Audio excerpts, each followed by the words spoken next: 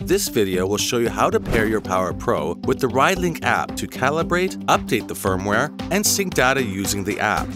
Step 1 is pairing your Power Pro with the RideLink app. Search RideLink in the Apple or Google App Stores and download the RideLink app to your phone. Open the RideLink app and enter your personal information, then click Save. Begin the calibration process for Power Pro. Wake up Power Pro by rotating the crank arm so the left arm is in the 6 o'clock position and the right arm is in the 12 o'clock position, and make sure the bike is in a horizontal position. Turn on the Bluetooth Smart function and open the RideLink app. Press the Bluetooth icon to begin scanning. When your Power Pro device ID appears, select it to begin the pairing process. When the paired icon shows up, pairing has completed. Now, you can begin the calibration.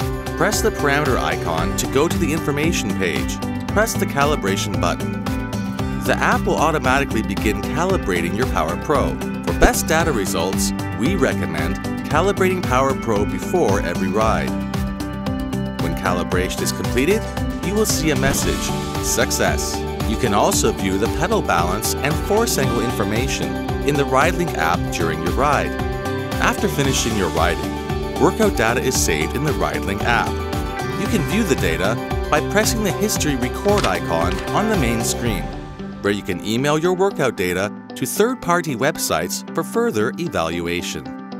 The RideLink app will automatically detect your firmware version and will show a reminder window to do a firmware update.